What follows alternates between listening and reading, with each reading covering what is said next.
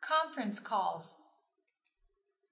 Today I'll show you how to create a conference call because sometimes when you're on a call with someone, a customer may be calling in and you realize you need to pull in that third party, that other agent, the, uh, the other person to be able to add to the value to the call that you're currently on.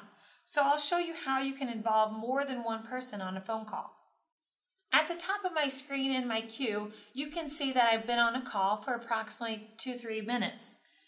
After talking to that person, I've realized I want to make a conference call. I want to add another person into our conversation. How do I do that?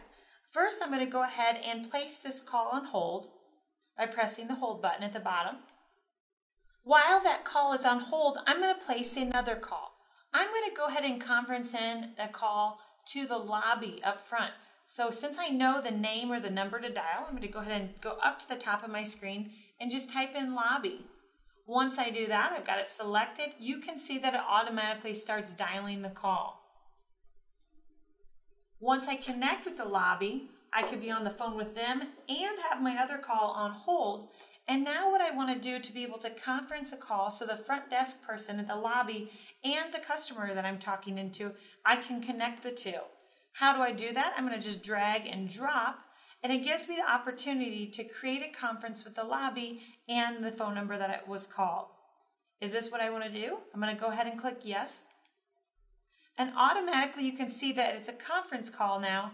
And if I click the arrows to the left, you'll see who is connected on the call. At the top of my screen in my queue, under the conference, again, you'll see the lobby and the number connected to equal one conference call. As soon as the lobby hangs up, you'll notice that it disconnects. It's grayed out. It's showing that it's disconnected in the state of the call. However, the conference still continues with myself as the agent and the number that we see here. This conference won't end until I decide or the customer decides to hang up, and then automatically you'll see it disconnect as well. This has been another just in time video short on conference calls.